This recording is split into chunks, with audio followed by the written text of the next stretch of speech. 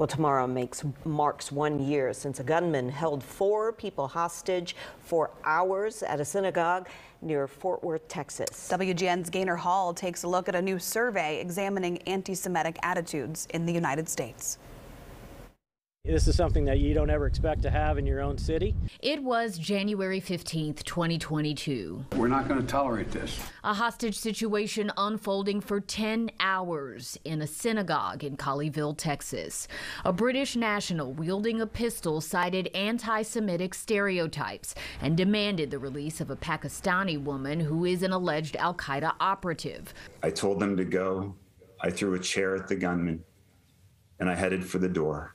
The FBI killed the gunman. The hostages got away. And one year later, a survivor tells the AP they are healing, not healed. When we look at what occurred in Colleyville a year ago, those were driven by historic anti-Semitic misbeliefs. David Goldenberg is the Anti-Defamation League's Midwest Regional Director. The ADL just released results of a new survey of more than 4,000 adults in the U.S. Among the findings, an alarming increase in beliefs in anti-Semitic conspiracy theories and tropes, nearly doubling what they found in 2019. So anti-Semitic tropes along the lines of Jews have too much power, Jews have charges of dual loyalty, Jews are are more loyal to Israel than they are to the United States. There's roughly 11 of them. Our survey showed that 20% of those surveyed said yes, that they believed in at least six of those 11 anti Semitic tropes.